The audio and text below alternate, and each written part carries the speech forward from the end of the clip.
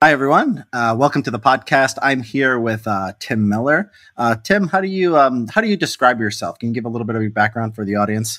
How do I describe myself? I'm a man of many hats. I'm a I'm a gay Oakland father. Um, I'm a former Republican operative turned writer slash maybe content man. I've got a, I write for the Bulwark. Uh, I have a show on Snapchat uh, for the teens. Uh, oh, I'm on MSNBC from time to time, um, and uh, you know I'm a radical centrist. How, how is that? I'm an LSU Tigers fan.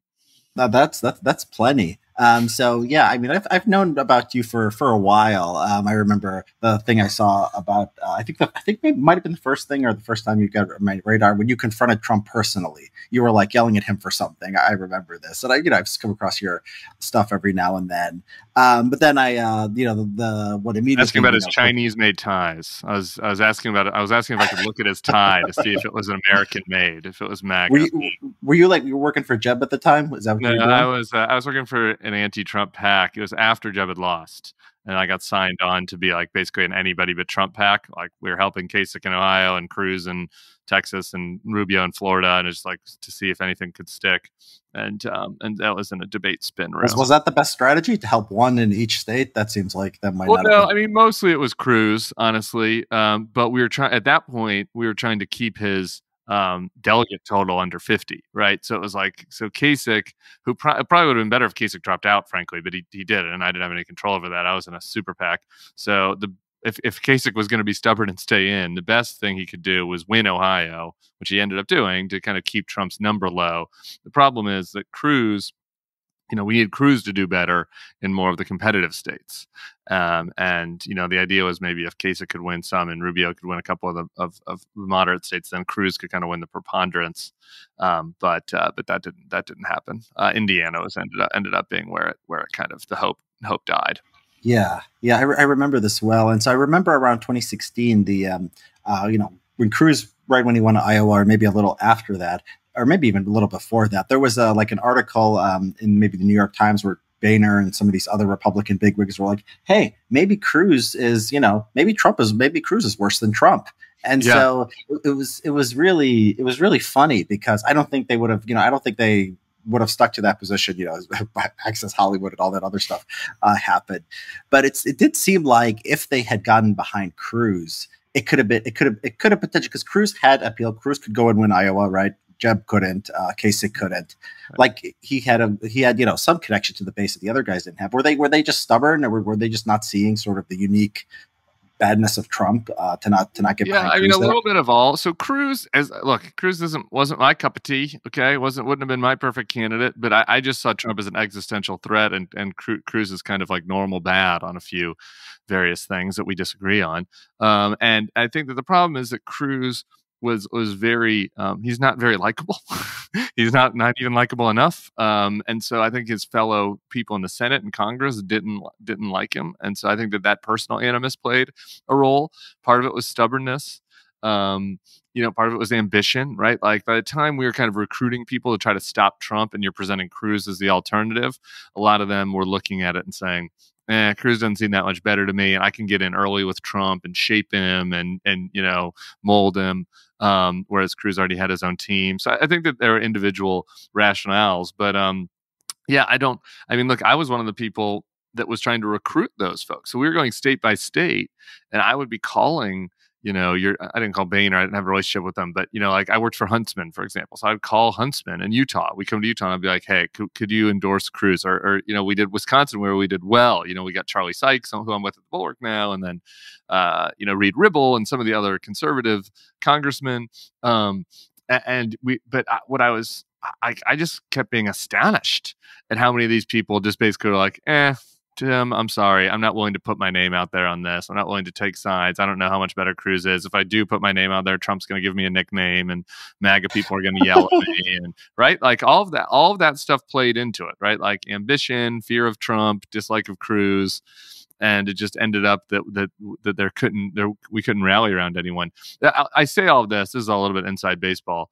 At the biggest possible picture, the voters wanted Trump and I think that kind of no matter what had happened, Trump was going to win one on one. I think that there are a couple of things. Maybe they're counterfactuals. Life is contingent. Maybe something could have happened that could have changed the trajectory. But but basically, Trump had like a 40 45% hold on the on the party and and and that's enough to win a to win a competitive primary. Um, so uh, all this kind of strategic maneuvering was a little bit on the margins, but it still was annoying that that folks weren't willing to to join me um, in that effort to stop him.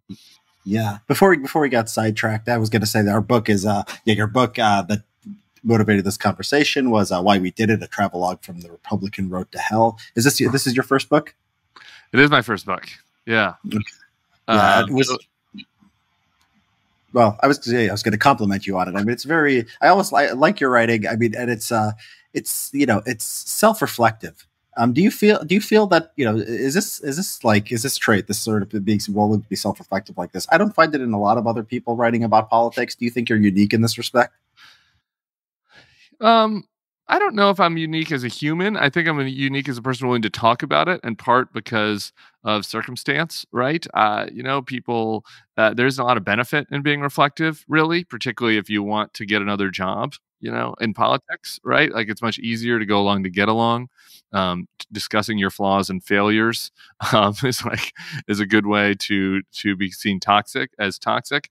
I, I had the benefit of the fact that like I don't really want to work for Republicans again, nor do I think that they would hire me, and I don't think that Democrats are really going to hire me either. So I don't I don't aspire to be White House press secretary for Kamala in 2028 or anything. So I, I, I had the freedom to be self-reflective, um, but I also think that like the nature of it, which I talk about in the book, is that the kinds of people that are drawn to politics, professional politics, which is really who the book is about. It's not really about like activists. Um, you know, I I, th- I, do think that by nature they're more ambitious, uh, more willing to kind of put their moral and ethical judgments in a box, less interested in being reflective. Um, maybe it's less about their nature as, as, well, and more about the culture, right? Like the culture of politics, which I write about a lot, is which is to say, hey, you know, like this is all part of a big game. Like we're playing this game, we're puppet masters in a game, and and to like reflect on, oh, what are the downstream effects of every little tactic that we use? You know, is a sign that maybe you're not you're not uh, put up made up for the game, right? That you might be somebody that should be put in the back office and not listened to. And so I do think there's a cultural element of it within politics. So I tried really hard, man. I, I when the publishers came to me, the first book that they pitched me was like write a, a, a burn book. Did you ever watch Mean Girls? yes. It's like write a burn book about Republican operatives. And I, and I was like, that was appealing, but I felt like I just couldn't do that in good faith, and and I wouldn't have felt as fulfilling as writing a book that like has some burn book elements, but also like looks back at my own uh, choices and culpability and and uh, and all that. Yeah, and do you think that um, yeah, I mean, this is the idea that you know you're all on a team. I mean, I'm not in politics. Yeah, I just write, but a lot of people who are in politics are, are my friends and people you know who are involved in activism. And I've heard this term a few times. Have you heard? Have you heard the term "truth cuck"? Truth cuck? Uh, yeah. Uh, no, no, I don't okay, know. well, maybe you. Well, okay, maybe you never. Okay, well, uh, I'm not yeah, this is. Enough, uh, I'm not spending enough time on uh, on uh, what's it? What, Truth Social or Parler? I guess. no, I'm not. Yeah, I'm not on Truth Social. Just basically group chats. I'm not in these. Yeah, these weird. Tell me about Truth cuck. Well, I mean, you'll be like, okay, this argument is hurting Democrats. Oh, but actually, I looked it up and it doesn't have much to it. What are you, a truth guy? oh, right. Yeah. you, you, know, you've sort of, I don't know. Yeah, that's, I'm, right. I'm a that's truth, a sign, you know, that's just another phrase. That's another way of what we would say in operative land, which was like, oh, you don't get it. Right. Like, yeah. I, I, there was an example. This person didn't make it in the book. It didn't make the cut. Um, but uh, uh, they were working at the RNC. Um, and, uh, you know, when Trump comes in and, and, you know, just they were always didn't love, you know, Trump style. You know, it wasn't for them, but like this was their career and they stuck around and, you know, for whatever reason they decided to stay. Um, and I was, uh, and, and then Trump gets in, Trump wins. And, you know, he would do something and say, like Spicer would go out there and lie about the crowd or the Muslim ban thing would happen at the airports. And, and someone from the White House would call over to the RNC and say, Hey, you got to defend us. You got to put out this statement. You got to put out this tweet. And this person would say, said that you know early on a couple times I'd be like, "Ooh, I don't know if we should defend him on this one," or "Oh, I think don't think we should phrase it that way. They're lying or they're exaggerating." And like for the first few, few times, people are like, "Oh, okay, thanks. That's good advice. Like we don't want to create unnecessary bad press for us." But then the next few times, it's like, "Wait a minute, you're a truth cuck," and then the next few times, it's like, "Wait a minute, you're a traitor." Actually, and you know they get a call from the White House, which is like, "Are you on board here? Are you on the team?" And so I, I just think that that is like the culture of how things develop, right? Which is you get a few tries that you can break with the team and say, "Oh, hey, I don't, I think this is an unstrategic or, or a bad idea." But but if you're continually doing that, then then you're seen as as as not on board with the with the system. Yeah, I think that's right. And I think one insight you guys who didn't like Trump from the start had had that a lot of us, you know, sort of didn't understand or learned late was that yeah this moral corrosiveness matters. Like so i look you know I, when i was back in 2015 2016 i'm like okay i hate the iraq war.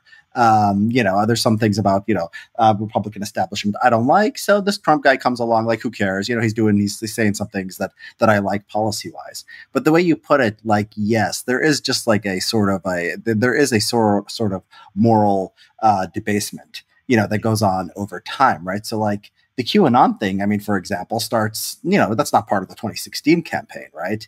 It it starts like in the fringes somewhere, and then like you have no guardrails at all, and like Michael Flynn is now pledging allegiance to it. I mean, you're like, wow, this is this is crazy. And you know, the anti-vax stuff sort of worked like this, the election denial, and by 2020, I think it was just clear that like, okay, this wasn't just a policy disagreement. There was something very morally corrosive going on um, and it was leading to all this other bad stuff that you know th- that's ultimately I think self defeating for the party.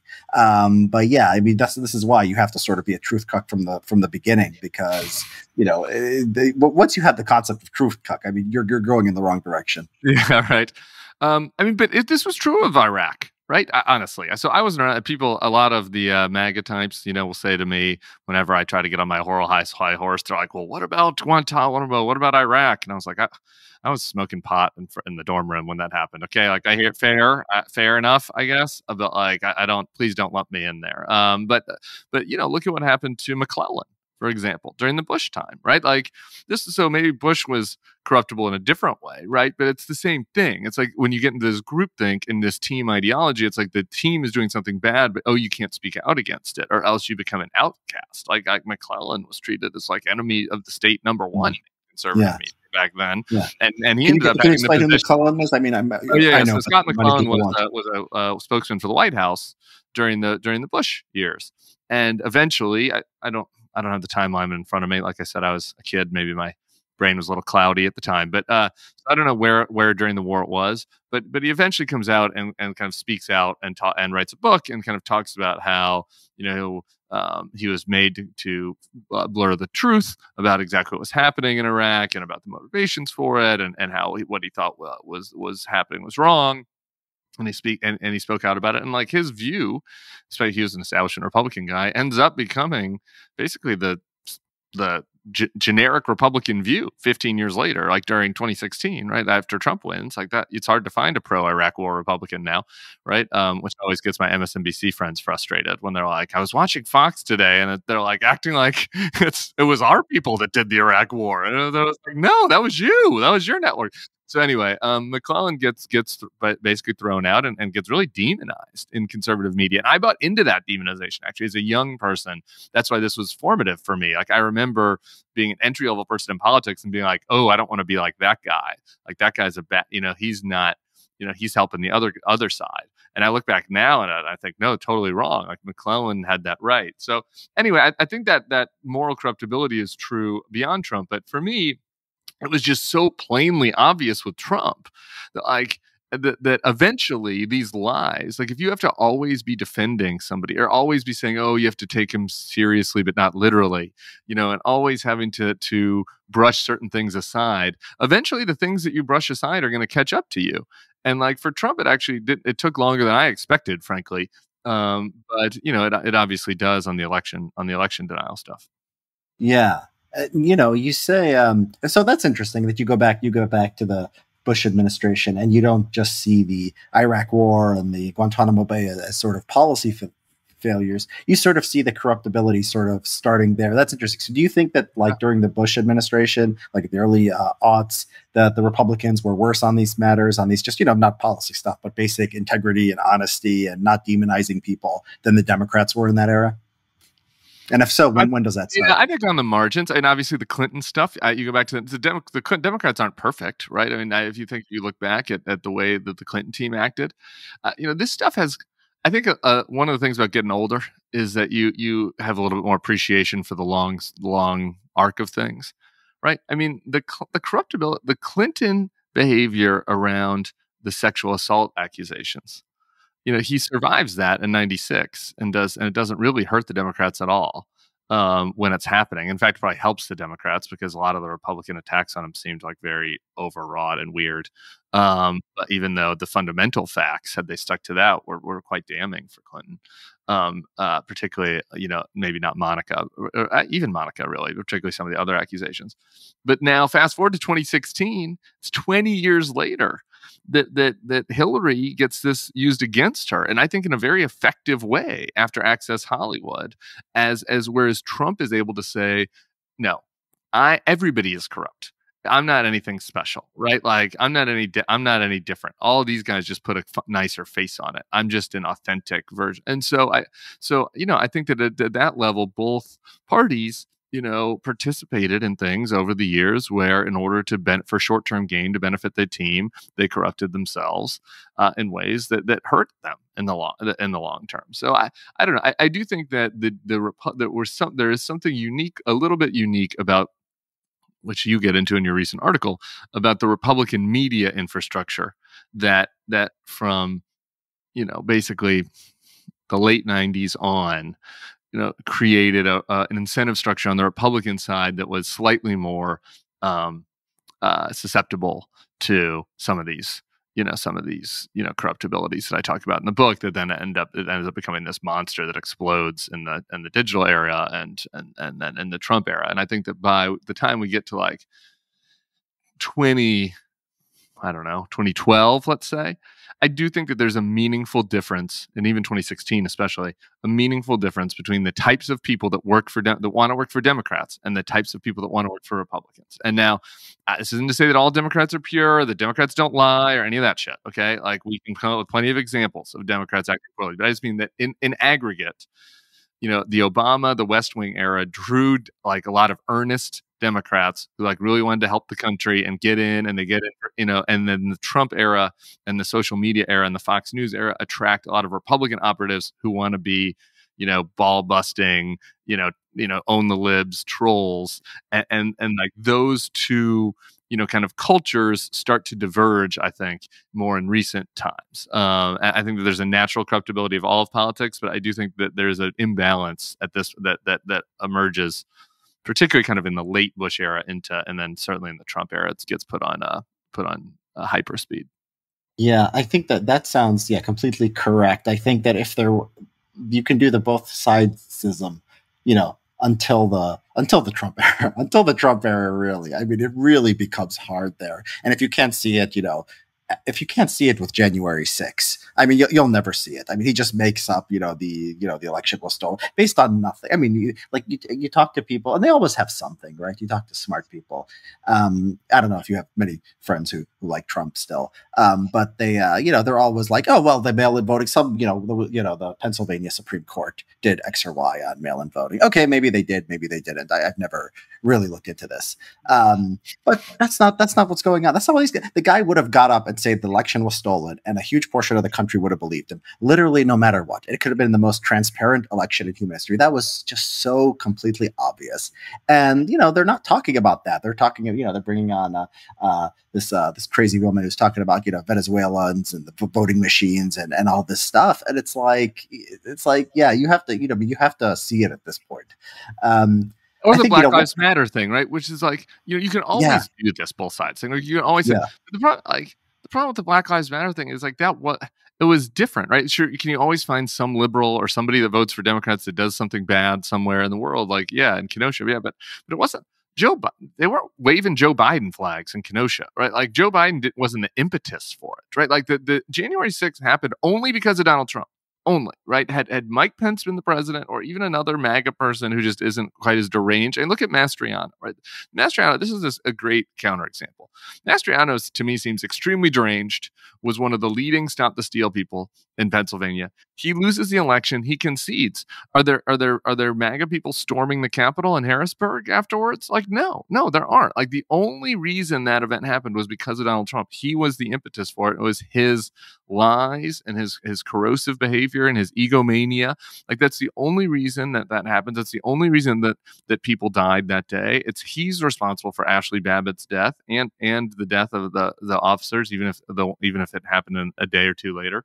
Um, like all of that happened just because of him like that is a fundamental category difference from like oh there, some liberals antifa rioted in portland somewhere and the politician that you hate the most didn't didn't uh, uh, criticize it as effusively as you wish they would have like eh, okay I, I, wish that the Democrats would have effusively criticized the Chaz zone a little bit more than they did. But like that, that's still very different. Those are two very different things.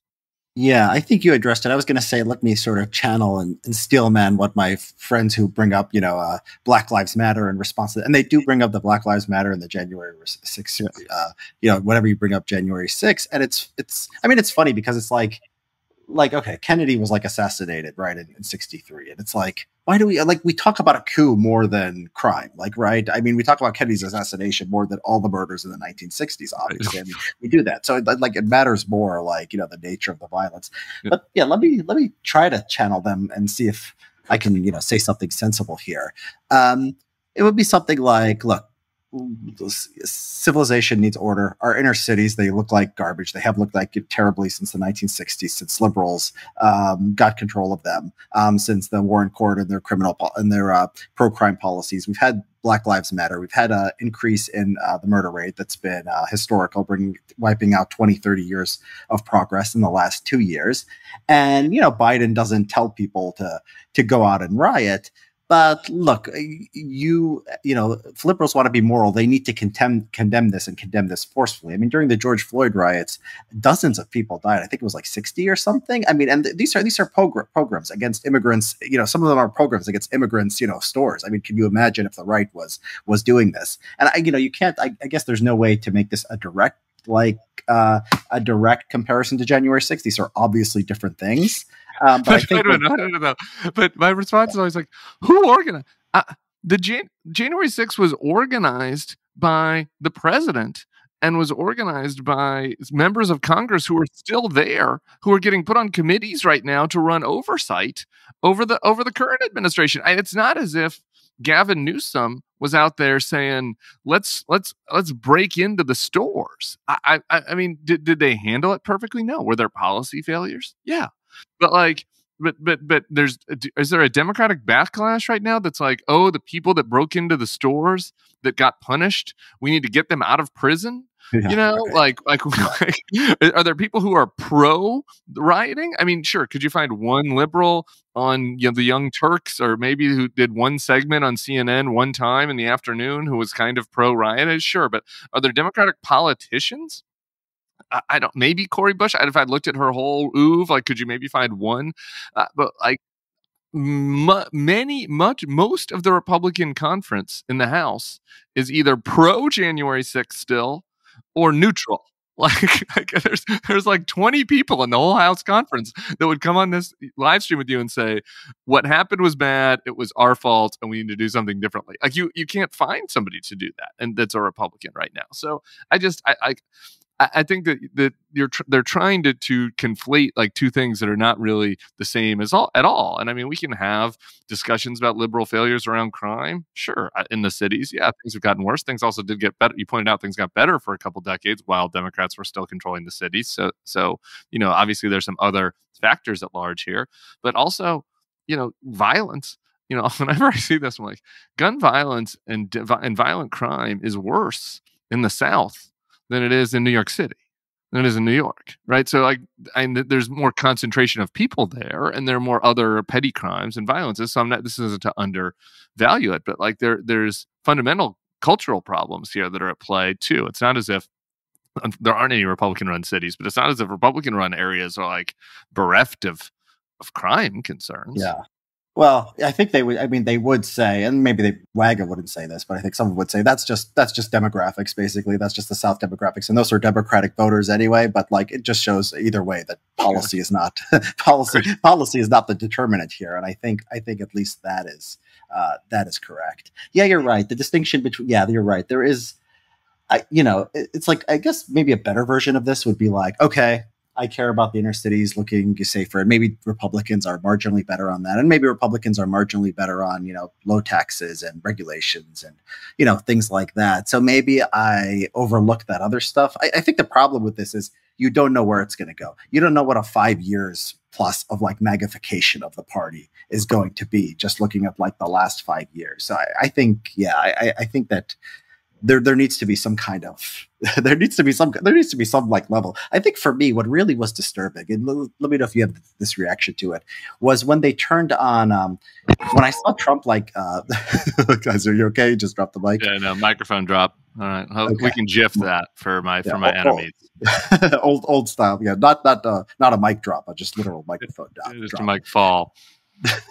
the uh, the Brian Kemp thing. I remember Trump was once talking about Brian Kemp after the 2020 election, and they start chanting like "lock him up, lock him up." And I'm sitting there like, wait a minute, what did what did Brian Kemp do? Is he's like a MAGA guy, like in every single way that you want, except he didn't just come in and overturn the election and say, "I'm going to give Georgia to Trump." And I was just looking at that. I'm like, this is incredible. This is a cult of personality that is not based on literally anything but what this man is saying. Now, actually, the, thing is good just really quick, I think it's a good mm-hmm. example of like where we do kind of know that the Republican Party is continuing going down kind of the darker part of MAGA direction, just based on who's winning these primaries and, and what's happening in conservative media. I went to the Talking Points USA conference in, in, in December, hearing what those what the people are saying on stage there. I mean, Brian Kemp is every argument that you could make for DeSantis, you can make for Brian Kemp and and like probably better, right? Like like Brian Kemp won a swingier state.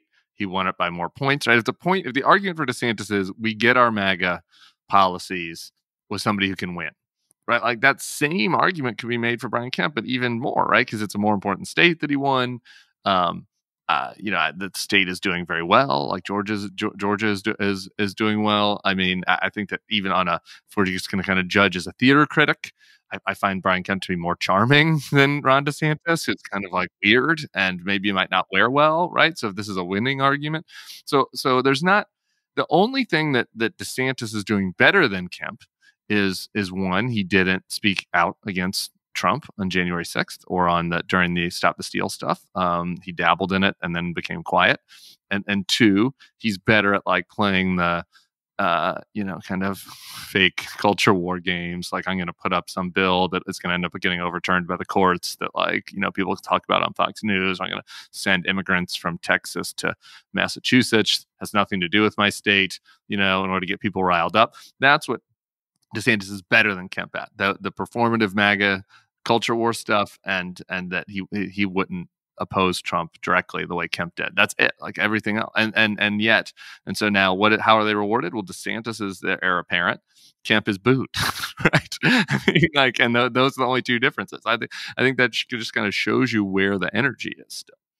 Yeah, and and so about the cult of personality thing, you know, it's interesting because I, I thought it was just you know it was just personally Trump, but the the way they respond to him on the vaccine issue is very interesting because it's the first time I see any kind of real pushback to Trump. Like, you know, he can get up on these rallies and say anything. It seems like the one thing he can't do is actually defend his, you know, positive record on Operation Warp yeah. Speed. Uh, uh, you know, how do you how do you how do you see that? Because it was surprising for me, and I'm still trying to sort of incorporate it into how I. Yeah, well, things. look, here's the thing: Trump was always mostly a bottom up phenomenon right he uh, and and so he had the, a few issues that i think he was in line with the base on just kind of instinctually instinctively um, you know, that he'd been for a long time. You know, the Chinese and the Japanese are screwing us, and you know, we need uh, better trade deals, and like, you know, I'm a builder, right? Like a couple of those issues. Um, yeah.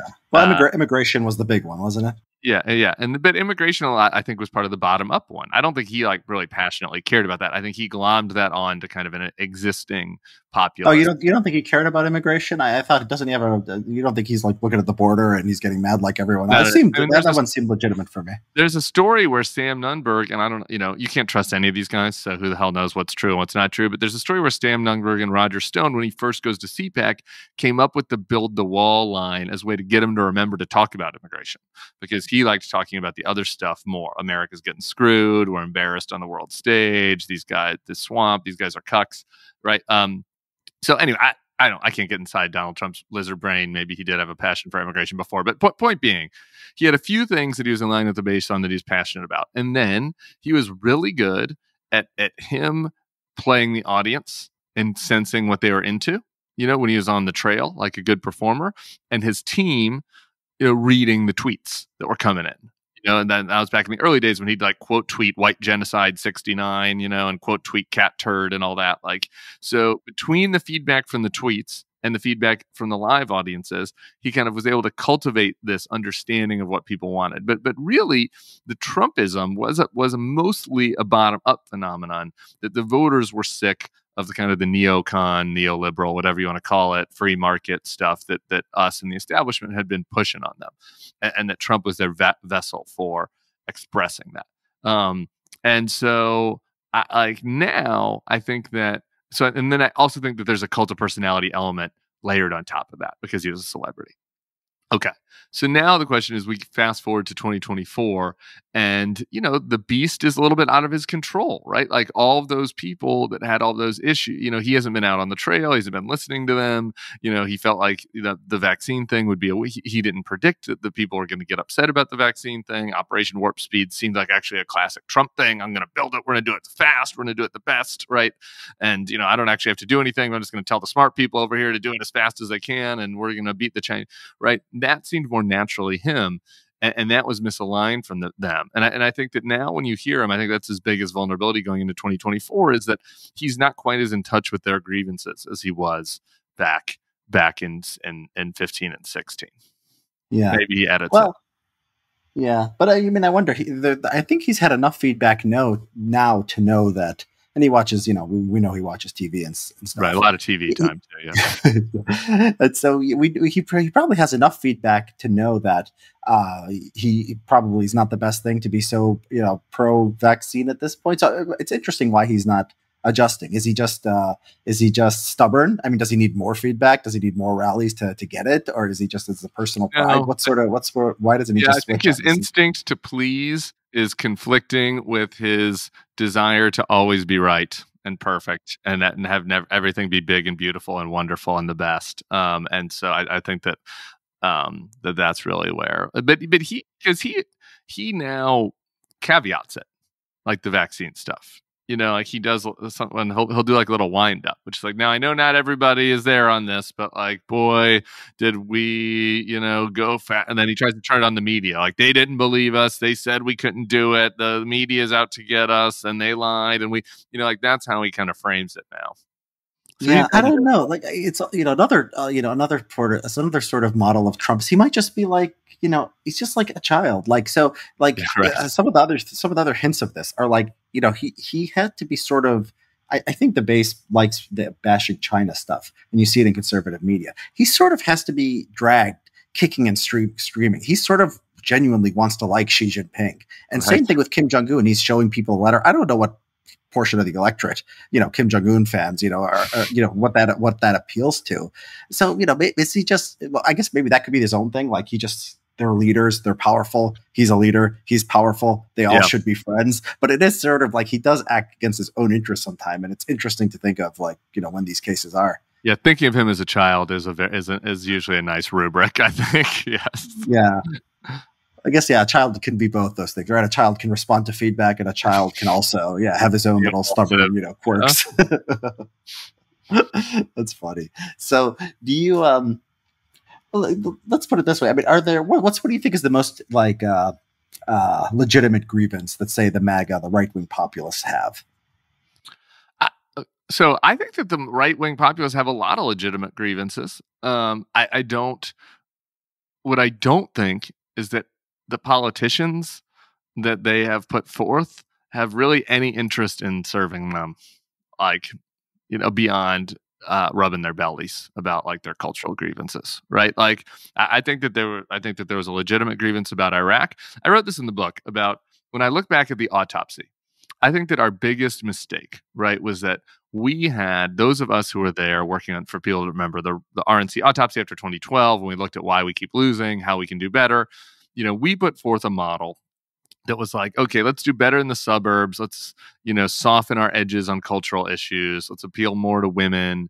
Um, you know, stop with the, you know, anti-gay stuff, which is obviously something that I appealed to. You know, be a little uh, softer on immigrants, so that to try to do better with the, with voters of color. Like that was it, and that model was colored by our own biases, right? Like, because that's what we all yeah. wanted. Like, we all were yeah. moderate, neoliberal, whatever, neocon, whatever you want, name you want to put on it, like, like urban Republicans.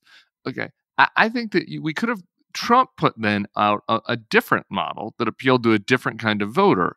Um, uh, you know, that was okay, no, we shouldn't re look at our opinions on immigration and on cultural issues. We should relook at our positions on economics and foreign policy, right? Like, and, and, and I think that there there were some legitimate points there. Um, you know, I'm still pro free trade, and I think that on balance, free trade has lifted more boats than it has sunk, but it's sunk some right? And and I understand those. I think are some legitimate grievances, and I think there should be things that that we that the government should be doing to to be more responsive to people in those communities who've been harmed. The Iraq War was a fucking disaster. It was a disaster. I, I don't think that. In, now I'm still a, glo- a globalist. Watch out, listeners. I don't think that like that means that we shouldn't be helping Ukraine and that there aren't other smart foreign policy engagements. I think there were some unique things about what was wrong about Iraq, but it was a disaster. And I think that those that people's grievances about it were legitimate. And so, um, you know, I, I, I think that some of, as we talked about a little bit, I think some of the crime and punishment stuff is a little bit overblown. Like, to, I, am I'm, I'm much softer on gun. Like, for example, I, I, think that guns is as much as a problem as the policing um, issue. But okay, but we could all talk about that, right? So I, I think that there are some legitimate grievances that are had. My my thing is, who who is a like, say what you want about Josh Hawley. At least he's trying to put forth some ideas to address them. Everybody else is just a clown. I think if you look at the J, I think the JD Vance race is the best encapsulation of this. He starts as this like thoughtful writer who's like, how can we reimagine immigration, trade, economic policy to be more responsive to working class voters? That's how he starts. Very thoughtful. He ends the campaign as like a just a, a, a, caricature that is talking about how Mr. Trump was right about 2020 and how he has questions about the vaccines and how about we should listen to all these voters' complaints about cultural matters and how Ukraine should pound sand. We should care about our own border, not their border. Like, I, I, so I, I kind of start to wonder can like populist conservatism that's serious that addresses real grievances actually actually work or will it necessarily turn into this kind of clownish tucker carlsonism so you know it's interesting. So you know you seem to differentiate. You see when I when you go to legitimate grievances, you talk about the Iraq War and you talk about sort of these economic issues. Yeah. Um, you sort of um, you sort of uh, brushed aside some of DeSantis's uh, cultural stuff. Yeah, um, I don't think that's and, legitimate. Let's let's hash it out. Mm, okay, so you don't think it's so legitimate? Like it can mean two things. It can mean like it's just stupid, or like it's not what people care about. Now, I, I think it is what people care about, right? You, wouldn't yeah. disagree that they care about critical race theory and they care about gender. I wouldn't. No, I, I think that it's stupid. Yeah, and I don't. Okay. I, well, I, I think that it's. I'll add a third category. I think that it's stupid, and I don't think that it really is impacting their lives in any meaningful way. Mm-hmm. Uh, have you have you seen some of the data? You know, for example, showing that um, uh, you know, among young girls, you know, you know, like a third consider themselves gay or bisexual or, or trans. Yeah. Like, do you, have you seen stuff like that? Because a lot of people, I think, do see that. I, have known a lot of people who have had kids in public schools, and they're saying, "Look, you know, there was the, the the debate over gay rights, you know, 20 years ago, is not the debate over gay rights today. You know, they're teaching kids just, just seem to be teaching kids about gender identity pretty early. I mean, they seem to be not neutral in the matter, but schools are ce- celebrating it and." People do have concerns about this. Is, is that not is not that not something? Yeah, I, did, I, talked to Dan Savage, actually the gay sex advice uh, person about this at our at a Bulwark event just uh, over the weekend. Um, and and I, I pressed him on this question, right? Like the high rates of um, identification of LGBTQ um, among among younger people, and uh, so I, you know, I, I, think that yeah, some parents are, are uncomfortable with that, right? Like I, I received an email from a parent recently that was like, my child was lecturing me about dead naming somebody, and and I don't, I just, I don't really appreciate that, and and I don't, you know, I feel like I'm being judged, and okay, so that's that is real in the sense that's a real feeling that that person is feeling, but like isn't this also a tale as old as time? Like seventeen year olds like gloms onto something to to separate themselves from their parents, and uh, you know over time it calms down. I I mean I, I think that there are a handful of outlier legitimate examples about actual surgeries and things that are happening among, among minors that that that worries me a little bit. Uh, but I think that this cultural question of oh these kids are like identifying you know, as demisexual because they want to be alternative.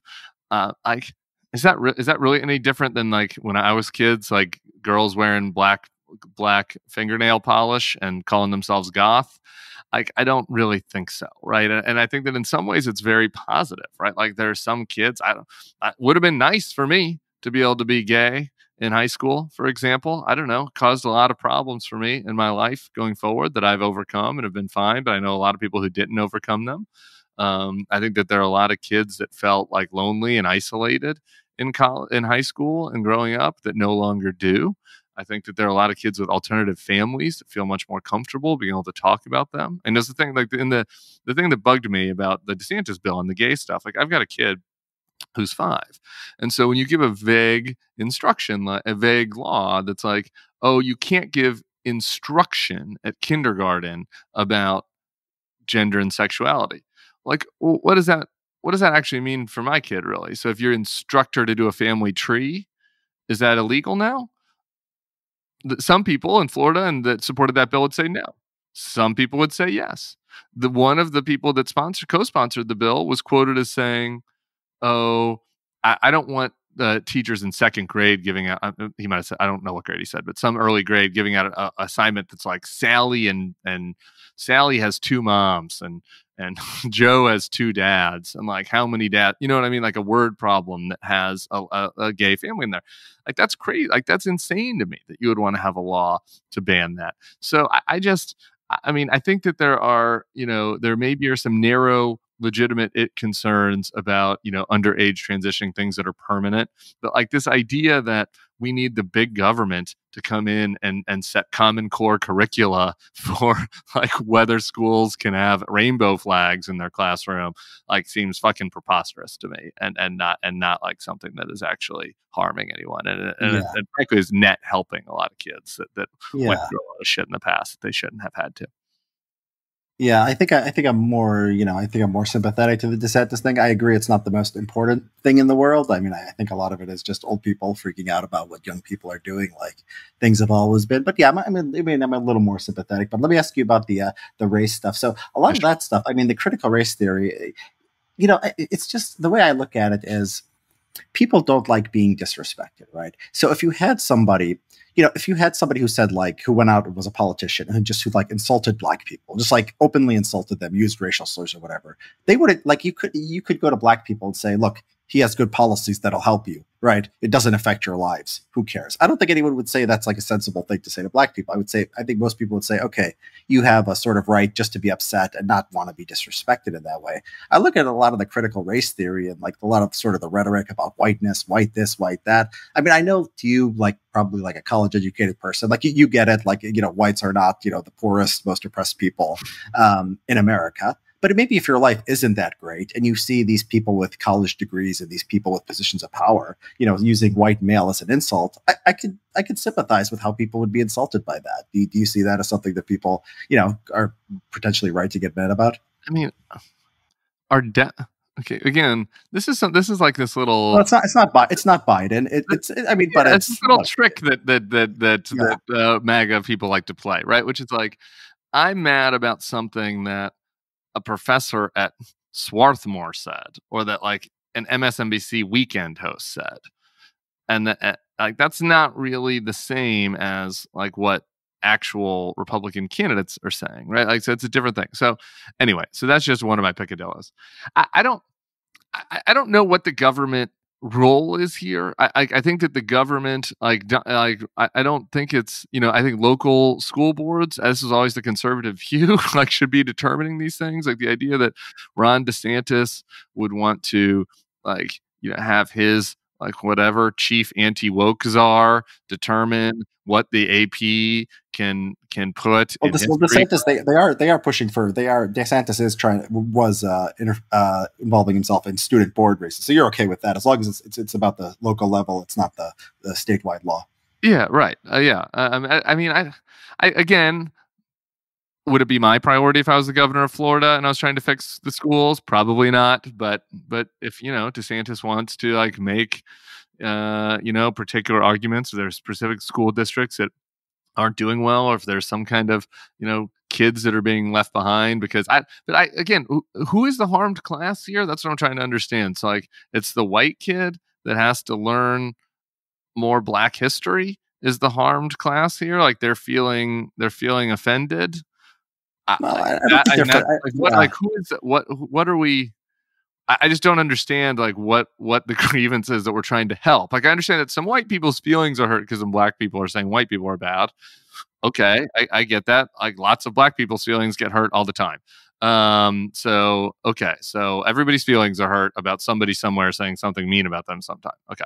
Now there's some examples I think of schools doing weird things that I think that maybe there should be oversight on. Like I don't love it. I think there's a Michigan school, for example. I saw this story where like they were having race segregated meetings so that the black kids could feel more comfortable. I, I I don't I don't you know I don't think that's great. I don't think we should head back down a path towards towards race segregation. I, I mean I think that there were things that my social studies teachers taught that I thought was too liberal, and, and there are things that some people's English teachers and religion teachers are teaching that I think is too conservative all over the country, right? So like that is a th- something that's happening. I don't I don't know what the president is supposed to do about that. So so like that's really where what what like what I don't I what I don't I don't understand what the what what what the harm is that's being remedied that requires the federal government to to to make sure that white people's feelings are not hurt quite as much. I mean, when you well, I mean, for example, when you hear that like you know all white people, you know, so we we've determined in our society racist is you know one of the worst things you could be called, and then you hear white people white people are racist white people are advantaged. Not all people feel that they're racist or that they're being advantaged. Again i think if you if you applied this standard to other races right you i think people would find it a lot more understandable that people would just Biden. And you're right. And you, you say it's not Biden. Biden doesn't talk about white privilege and this and that. We're, the, you know, we're just talking about the grievances. We're not talking about whether the solutions are right. And I think you're right that a lot of the MAGA world is not providing much or uh, much in the way of solutions. Um, but yeah, I mean, people feelings get hurt. I mean, people fight wars over, you know, I have my religion and language and, you know, you insult me and, you know, I have my own and I'm going to fight you. I mean, people care about these things. And it seems like low hanging fruit. I mean, I think for the left to do a little more Sister Souljah stuff on this stuff, I think that could potentially be beneficial for, for everybody. I don't, I don't disagree with that. I, I, think that there are certain situations where there are lefty people out there that are that are saying and doing crazy things, um, and and saying and doing things that are unnecessarily alienating to people. I'm not for alienating people, um, but you know what I and and and look, and I, I also understand just just people's casual discomfort with with big changes, particularly in schools you know they don't they they got a good education they want you know their kids to get the same education like i under i understand that but like in the grand scheme of things i think that most of what the politicians are doing on this is performative bullshit and that like on balance you know we, we need to be able to that there also is like a balance that needs to be struck that that the republicans don't seem very interested in which is that yeah like additional per, you know learnings and and reading people from additional cultures is good. Hearing about your own history, hearing about people like you in history and in um, and in the news and in and in, in writing is is good. Um, you know, having a school where everybody feels safe and comfortable, no matter what their family structure is and what the rate is, is good. So, like some of these changes are good, and um, and and and some in some places maybe they're taking it to to to a place that I, I think is might not be that, that is not perfect or harmful or a mistake or stupid. We have a gazillion school districts all around the country. We could have a cons of TikTok feed. I'm confident that shows teachers saying stupid shit um, about climate change and about gays and stuff. Uh, and so, you know, I, I think we also just need to have a little bit of perspective on on that on that side of things. Yeah, you know, it's interesting because I, you know, I'm a little bit more sympathetic to the MAGA people on this stuff than you, but on the on the immigration and trade stuff, I think I'm, you know, I think I'm probably less sympathetic than you. Like, could somebody take your because you seem to you still. I mean, you still believe immigration and trade are, are net goods, right? You're still. Oh no, still I, I, I am. I, I, just, I'm. Yeah. I, what I'm saying is, I'm sympathetic to their that they've had an economic. That there's been an economic hardship. Uh, I, actually don't think uh, on, on immigration I, I, mean, I, I think we should be we should have significantly more immigration right now. In particular, I find it hilarious. Like the immigration restrictionists are all like, "Oh, we need to lower, we need to, we need to decrease immigration so that we can increase wages." And now, like wages are are skyrocketing for people, and we have in, and we have inflation. And like you go back to the immigrant and you go back to the immigration restrictions, and like, so can we bring in more people now to you know help deal with that? And they're like, yeah, no now we have a different yeah. reason why we need to keep immigration. Yeah, yeah. So. I mean, they, yeah, they, they, they hop around one reason to other. But I wonder why you, you could say the same. Thing. So your your view on the the social what's to be taught in schools is like, okay, you have a grievance, but like it's largely irrational, and you know, suck it up, snowflake. And then on immigration and trade, like, okay, you don't like these immigrants here. And you seem to realize that a lot of this stuff is just ad hoc, you know, post hoc. Oh, I don't like him, so I'm going to say it's about wages or whatever. Why not just say, you know, suck it up? These are, these are, this is just basically based on cultural yeah, resentment. Okay, yeah, I'm sorry. I, I, was maybe not clear in my earlier uh, uh, comments. Uh, so to be clear, when it comes to immigration, uh, yeah, your concerns are BS and you should suck it up, snowflake. I, I do have that view. The trade, trade is a different animal, okay? Because free trade in aggregate has helped us. I'm I support free trade. I think we should have done more free trade deals, but like there are in narrow there are people that have suffered real harms.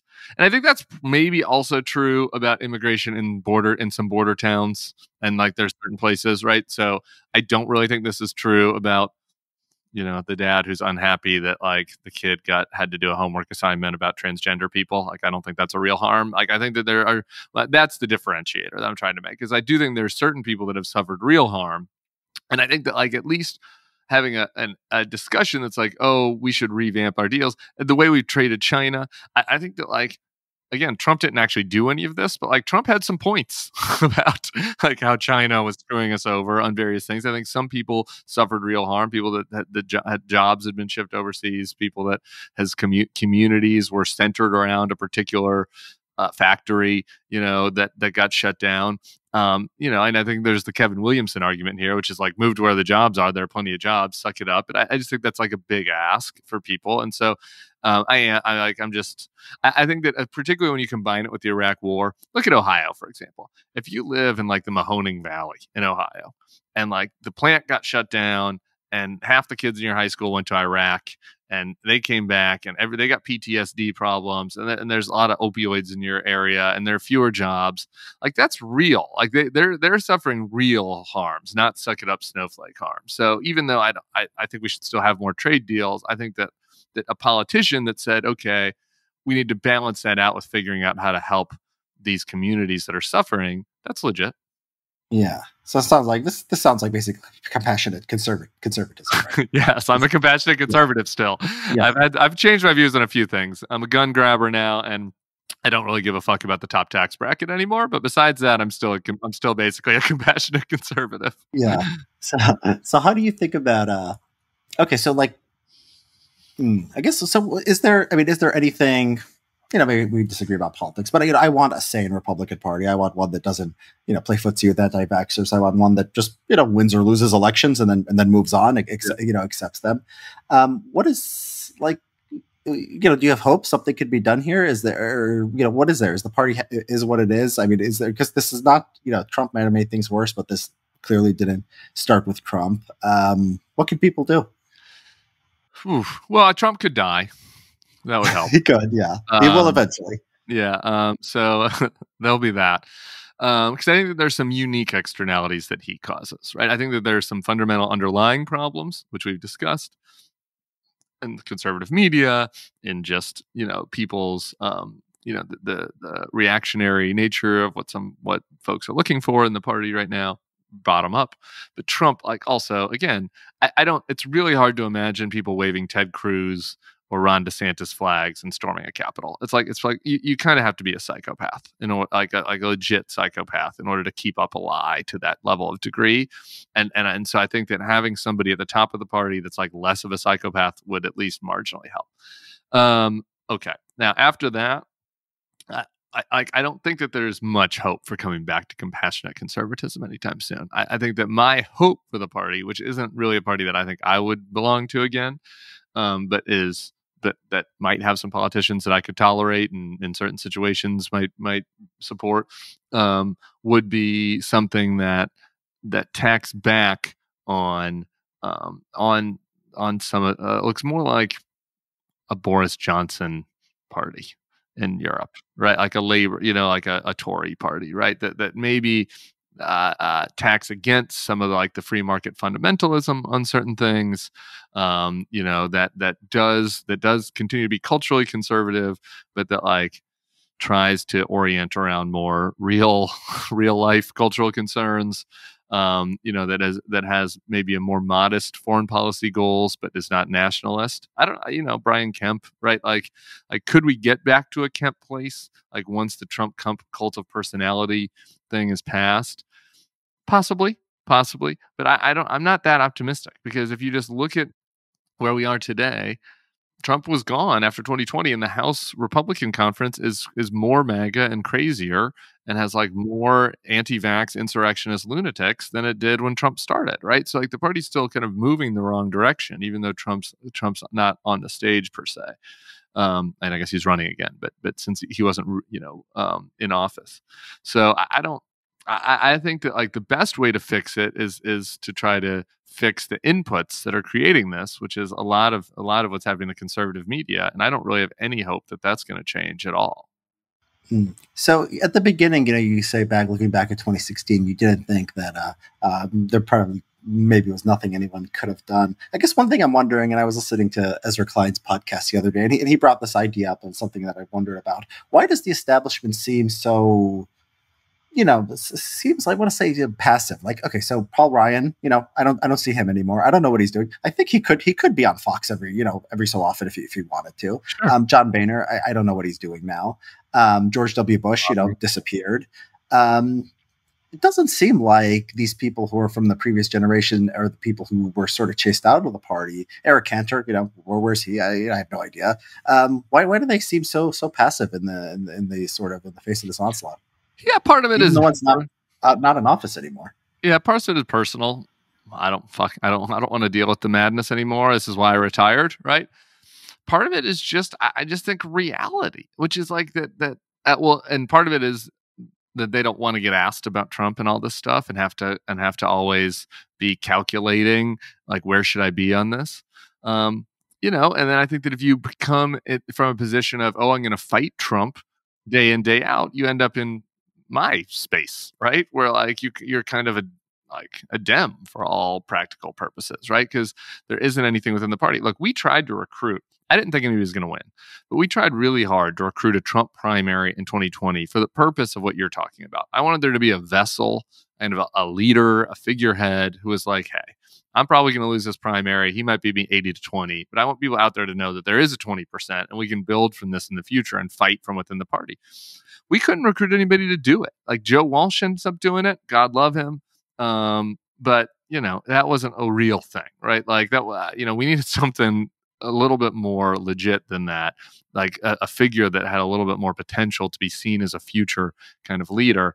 Um, and a, a, lot of folks said no because they didn't want to take they, they didn't want to you know do a hopeless effort. They didn't want to take Trump's heat and, and and so I think that what has happened is that the old establishment of the party is basically fractured between people that have accommodated it and come to terms with it. A lot of the characters in my book, people that are fighting it but are now, for all practical purposes, in league with the Dems and the Biden world, and and, and then people who have just said, screw it, I'm going to go paint in Midland and like check out. Right. And so, you know, a group that was already like basically a minority within the party in 2016, right? Trump wins, you know, the establishment candidates get about 40, Trump gets about 45, uh, you know, 15 for whatever. You can divide it up between Ben Carson and, and decide which side those people should be on. But so it was a group that was only about half the party anyway a bunch of them have checked out already. So now it's even smaller. There, it just doesn't feel like there's a lot of power from which to fight from.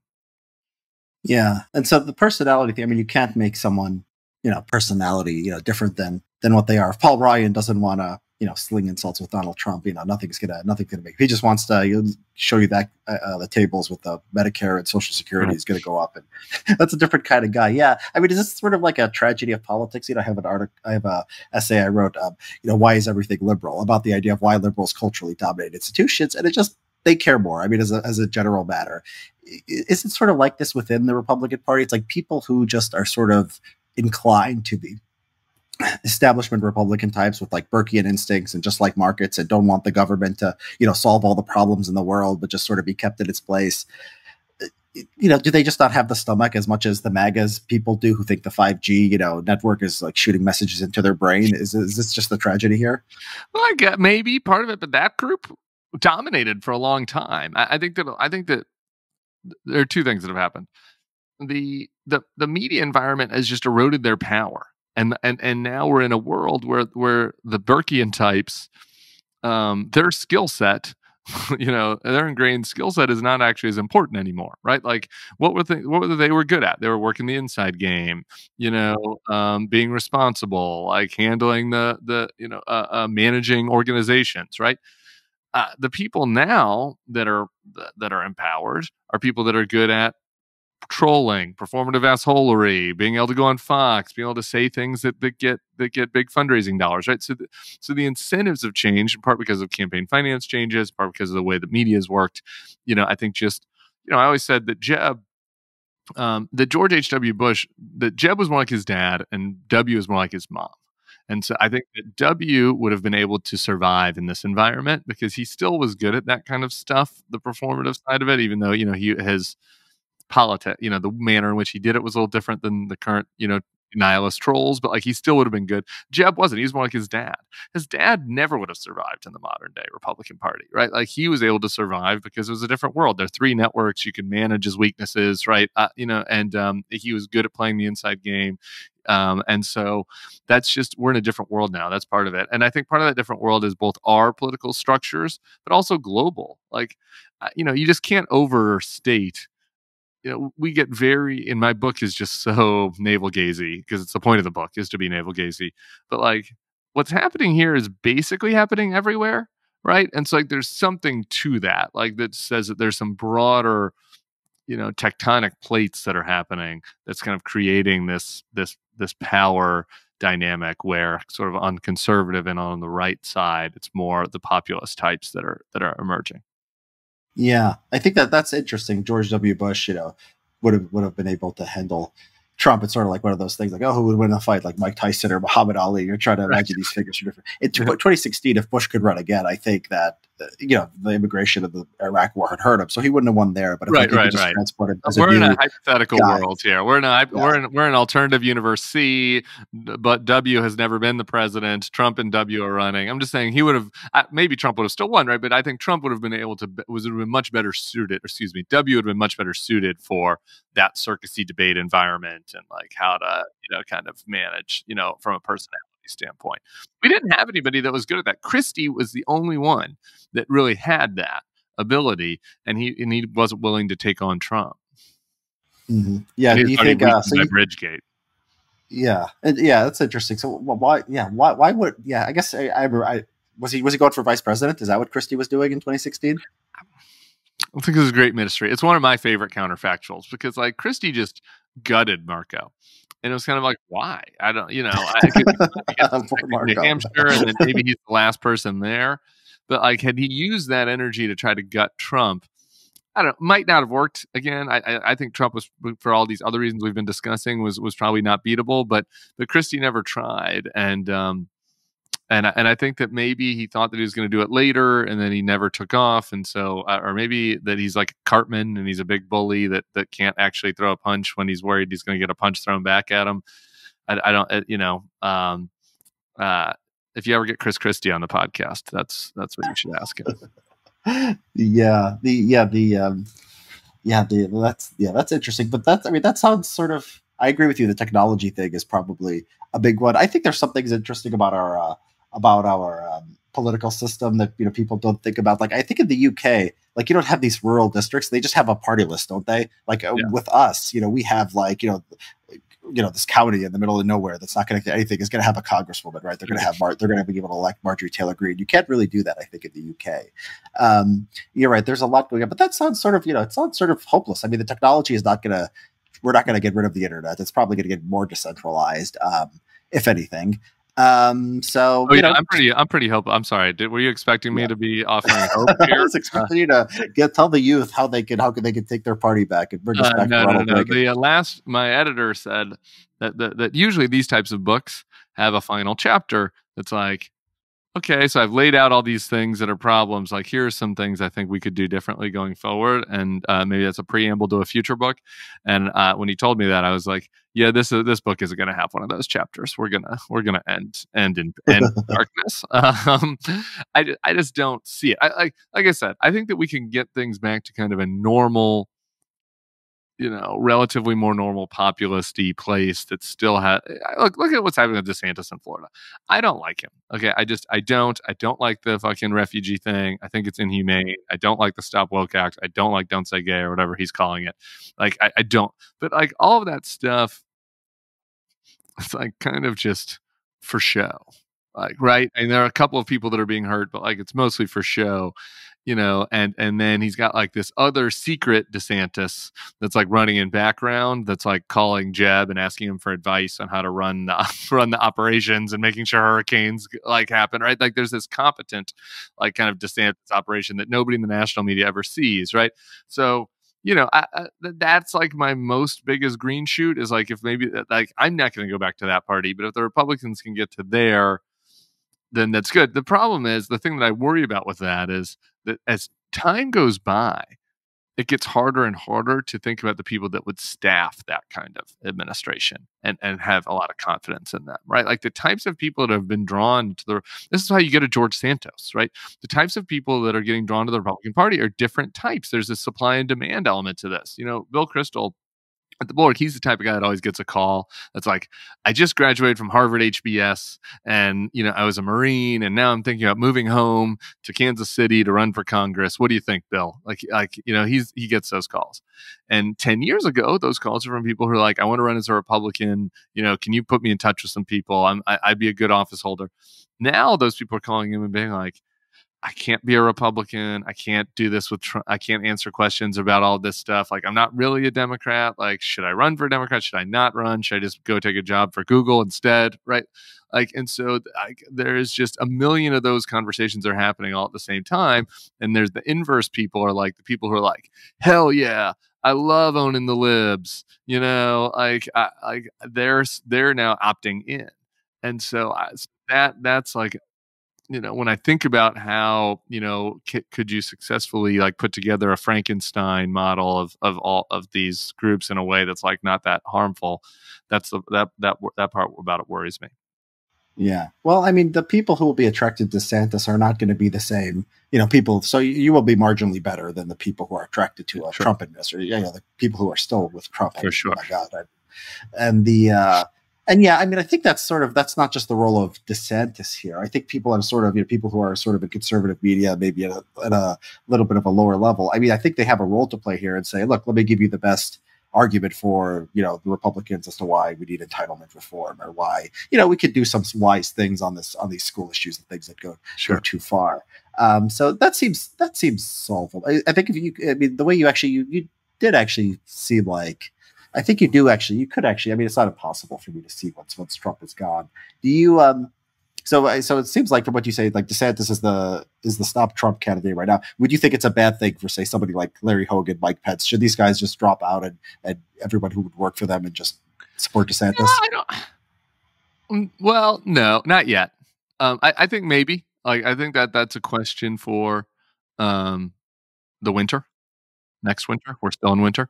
Um, I, I get annoyed by the pro DeSantis stands who try to use that never Trump argument against them to be like, you guys need to, everybody gets got to get on board with our guy now. And I'm like, wait a minute. Like, let's, can we just, can we just watch him on the stage for a second and make sure he can do this before, before I have to sign a blood oath to like supporting somebody that I don't really like? Um, uh, you know, I, I don't, we don't there's a lot of things we don't know about DeSantis because he hasn't as a governor he hasn't had to weigh in right? Like he's he ducked around the vaccine thing. I mean if anything he's been kind of anti-vax right? Ukraine like he hasn't had to talk about Ukraine. Would he support Ukraine funding? Would he help the Ukrainians? Um you know any of the other of the you know kind of tra- crazy Trump controversies that get brought up. He hasn't had to like really pick a side. He gets to choose, pick and choose his spots, and he'll weigh in you know on the gas stove thing with a meme, but like on other things that were where the where it's not quite as clear where he'd go, we don't know where he is. So I I just I think that he's the most likely one for sure. Um, I think that Larry Hogan is not going to run for president. If he does, he's only going to get one percent. So I don't know that really matters whether or not he does. Um, and I think that if you look at these other guys, I think that there's a reason. There, it's I I think that there's a reasonable argument to say, hey, I'm going to get in. I don't want Trump to be president uh, or nominee again. I think that you know for whatever you know all the obvious reasons, um, but let's see how things go and get on the debate stage. And Kind of see you know if DeSantis is up for it, and if we get to New Year's and you know it's it's Trump 48, DeSantis 44, and me at six and I'm being a spoiler, then I'll get out, right? I, I, I think that's a reasonable thing to do. You saw that in the Democratic primary last time. You know, I wrote a big article, you know, from my 2016 experience, it, eh, like right before South Carolina, that said, "Hey, Democrats, you have like two weeks to get your shit together, right? So if you're Pete or Amy, like you got to drop out now because otherwise it becomes too late. You know, you know because of all what we were discussing at the beginning of this podcast. So I, I think that there becomes a time when it's like you got to shit or get off the pot. But like that isn't now, and I don't think that people should feel bullied by DeSantis when I, when you know I, I, think that it's more likely than not that he's the alternative. But like it's certainly a non-zero chance that he totally face plants and he doesn't wear well at all. And sensible, yeah. Let me uh, let me um, let me close with some. Uh, I'm just, nothing if not sensible, Richard. Go ahead. Sorry. you are sens- You are sensible, Tim. I, have been impressed with yours. Yeah. Um, the uh, so are you um from, from the impression of the book i get the impression that you're not are you are you friends with any trump supporters still? I get the impression that you you're you're not. Am i remembering that correctly? It's been pretty tough. Um uh yeah i've i've quite quite i guess if you what you i guess it depends on what you mean by trump supporters but I, I am still i am still friends with people that voted for donald trump and that are in republican politics um, a handful. I've lost a lot of friends that fit that bill, and I don't really have any friends who are like, I wear a MAGA hat uh, yeah. with the exception of the character in the last last chapter. Is it mostly is it mostly uh, they like don't like you, or is it more that like you just can't see how they could they could put up with this guy uh, as far as the most uh, a little bit of both. A lot of them have dropped me. You know, a lot, there's a lot of mutual kind of like you just don't text each other anymore, right? It's like, what do you have to say? You know, you're going to say. I don't. I try to be.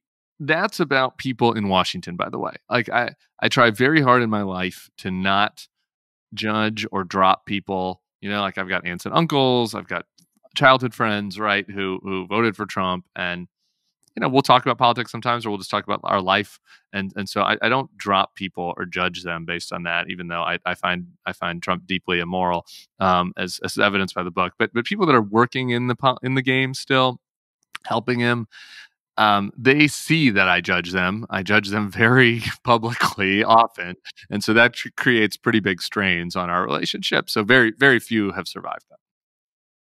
Yeah. Okay. So Tim, you're a um, you're still a young guy. What's uh, what, what's next for you? What are you doing now, and what's next? What do you think I should do?